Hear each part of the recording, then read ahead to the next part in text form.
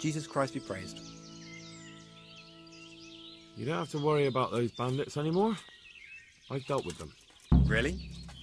And I suppose I have to take your word for it. If you want proof, I can take you to them. Hmm. Maybe I should have brought you their heads. I'll take your word for it.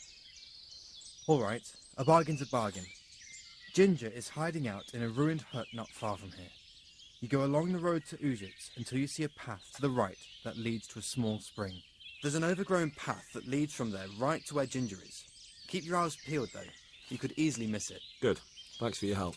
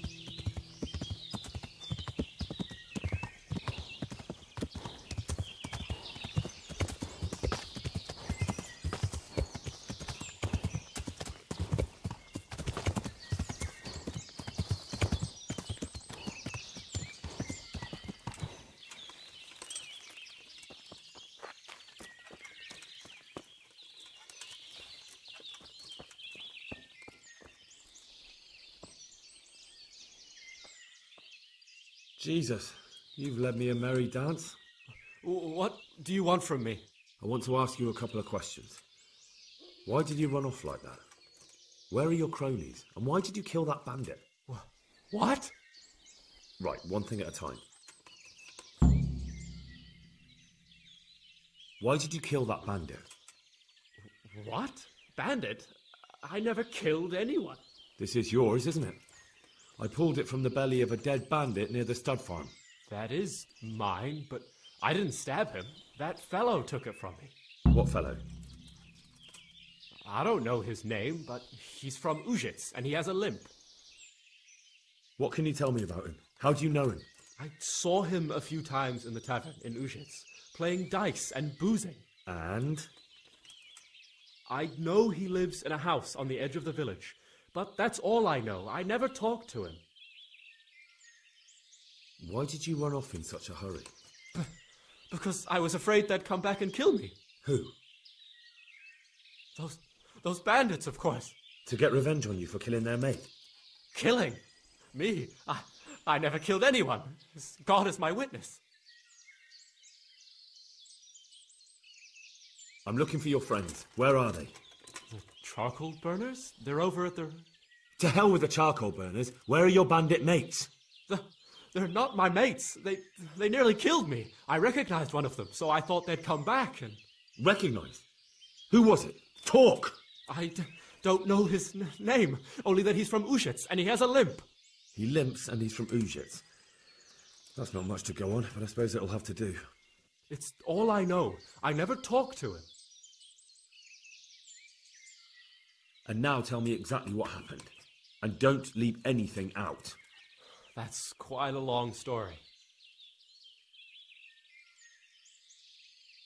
You don't have to tell me everything, just who they were and where they went. I only recognized one of them, a fellow from Uzhitz with a limp. He lives in a house on the edge of the village, but he's in the tavern there whenever he has the coin. What else do you know? Nothing. That's all. I've heard everything I need to hear, so I'll leave you be. Wait! What about me? Won't you help me out? Uh, perhaps I could. What would you like? I'd like to go back to the stud farm, but those cutthroats who want to kill me are still around. Will you help me? They're out of the way. I ran into them on my travels. Really? That's great, but What? I'm afraid to go back to the farm. I, I ran away, and God knows what they'll think about it all. I don't know if they'll even want to talk to me.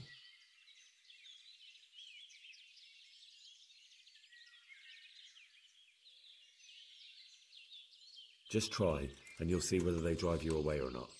But if you explain it to them, they're sure to understand. I suppose you're right. Thank you for your help, and God bless you. What is it?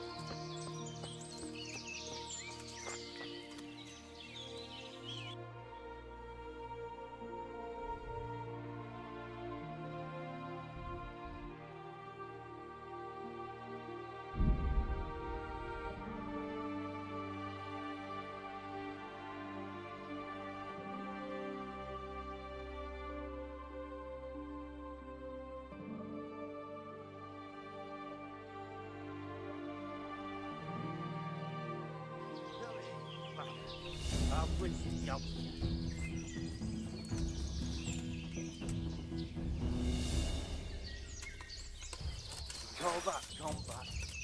Enough! I yield! You hear?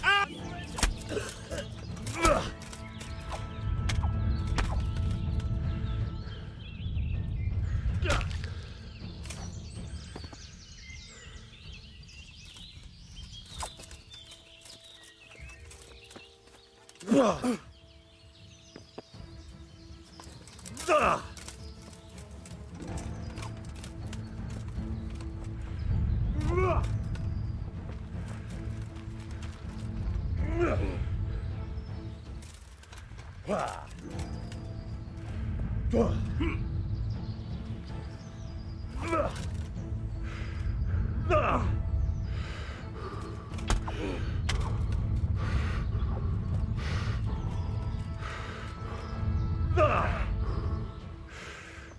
Fuck.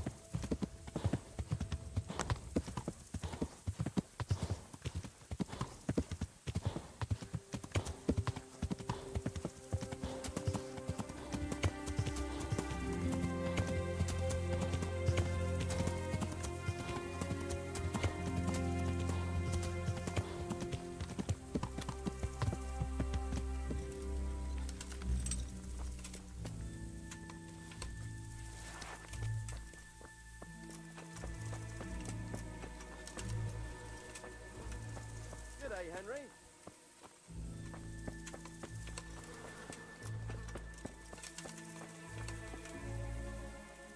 Well, well. Look who deigns to grace us with his presence. I was looking for that boy, and And you didn't bother telling anyone. I had to follow the trail before it went cold. And what if some bandit skewered you and left you for dead? We'd never find you because you told no one where you were going. How would I explain that to Sir Radzig, eh? I really don't know, my lord. He disappeared without saying a word to anyone. Never crossed my mind he wanted to get himself killed. I. I. Silence! Keep your ignorant mouth shut when I'm giving you the benefit of a veteran's wisdom. You do what I tell you, answer only when I ask, and not go roaming off whenever you feel like it. I'd like to kick your arse back to the castle and be shut of you. But it's true, you're a fucking peasant who knows nothing about soldiering, and it's my job to whip you into shape, so I'm not done with you yet. God have mercy on you if you ever try anything like that again.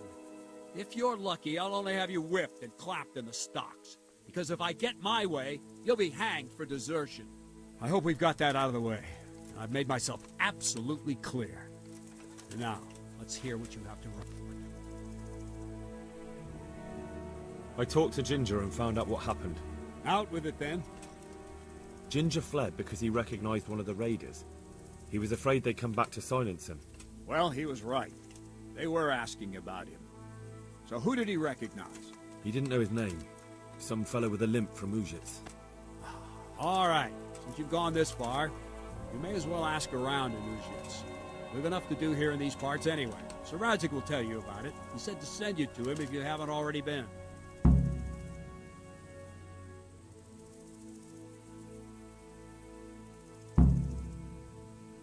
I'd like to improve my swordsmanship. Certainly.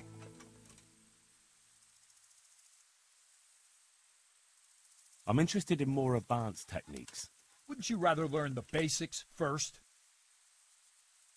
I'd like to practice the basics. All right, but it'll cost you.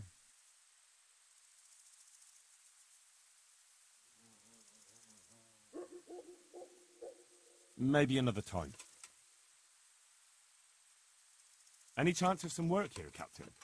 It all depends on what you're ready to do, my lad. As I'm sure you've noticed, the roads around here are swarming with brigands. Sir Hanush has declared quite a reward for dealing with them. So what do you think I should do about them? We know about one of their encampments. It's to the east of Rattay in an abandoned mine. I don't really mind how you deal with them. Anyway, the leaders generally wear spurs, maybe like they're pretending their nobility. Who cares? In any case, bring me the spurs, and I'll take it as proof that the deed's done. Very well. I'll see to it. Wait. In addition, Sir Hanush has offered a reward for every bandit who's killed. So take a good sharp dagger. You'll get a bit extra for each ear you bring. Very well. That sounds amusing. Well, as for amusement, I'd entertain myself by being very careful, lad.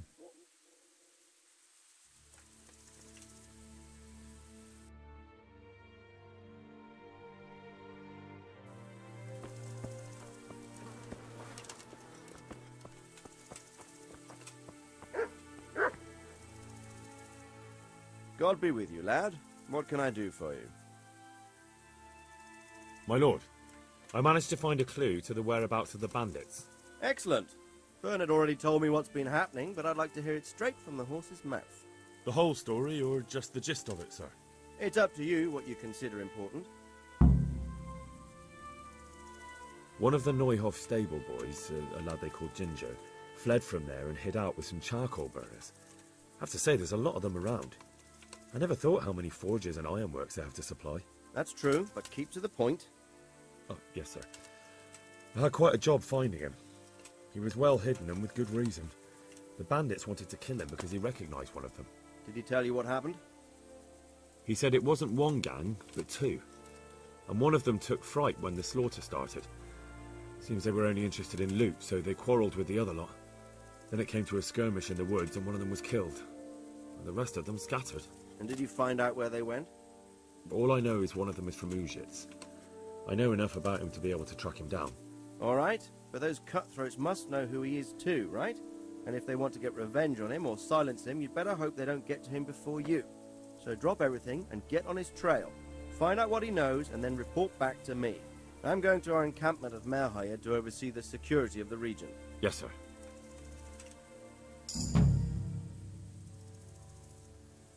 Why choose Merhojed? It's somewhat at the center of events, isn't it? And what's more, there's another stud farm there. Sir, do you think they're going to try the same thing again? I shouldn't think so. Everyone will be on the alert now, but the secluded dwellings are more vulnerable. There are few people in them. They're scattered everywhere and we can't guard them all. But the bandits won't find much silver in places like that. There's always a groschen or two, some food and so on. Anyway, how much silver did they get from slaughtering those horses? True. If they'd stolen them, they could have sold them. Those were fine animals. Exactly. It's not about the silver. It's about something else. But what? Creating fear. Such great terror that you won't even squeak when they come to cut your throat. Never mind raise your hand against them.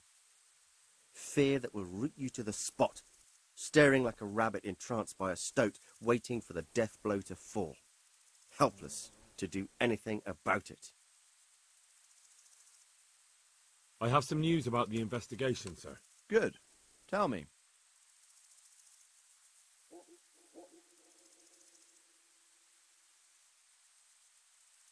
Actually, I haven't found out anything yet, sir. Put a little effort into it, lad. Talk to people and use your head. If you get the feeling they're hiding something, press them or trick them. You have to solve this. Do you understand? Yes, sir.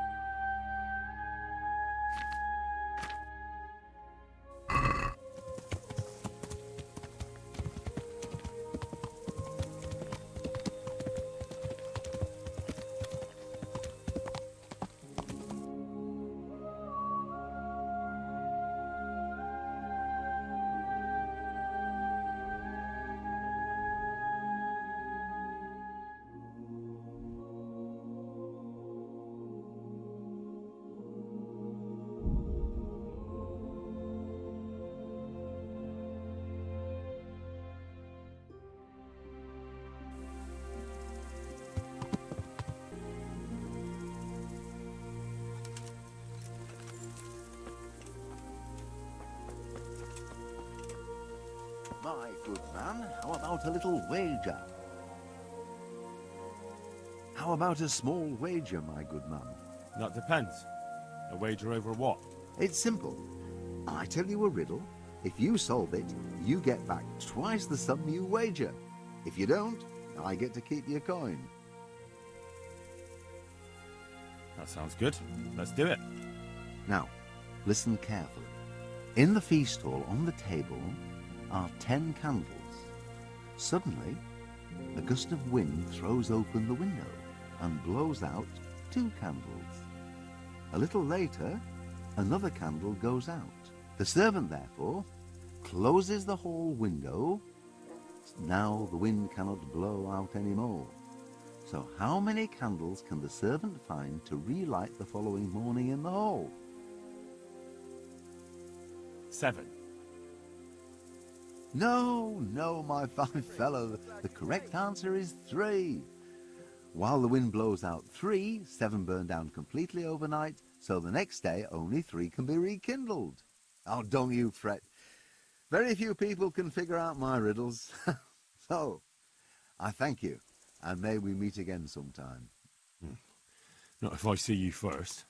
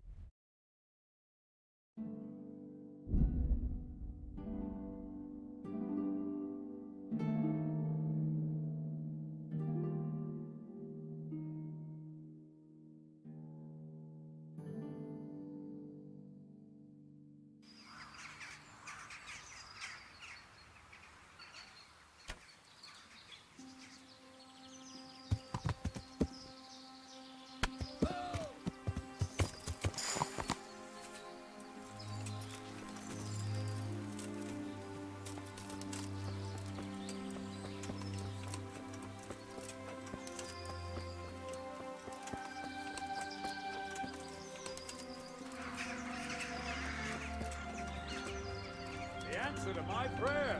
Just when I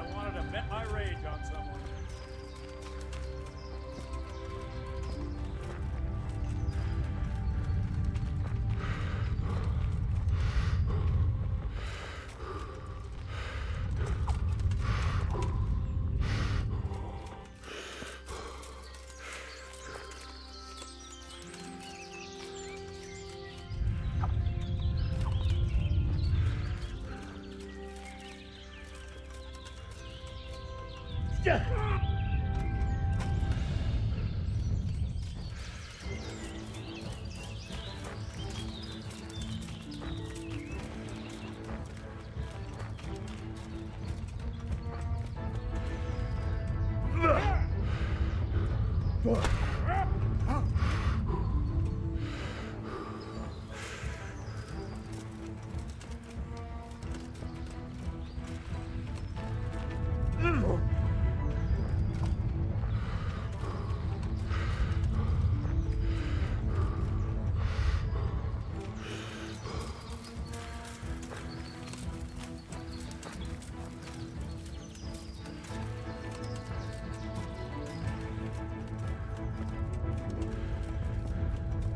all.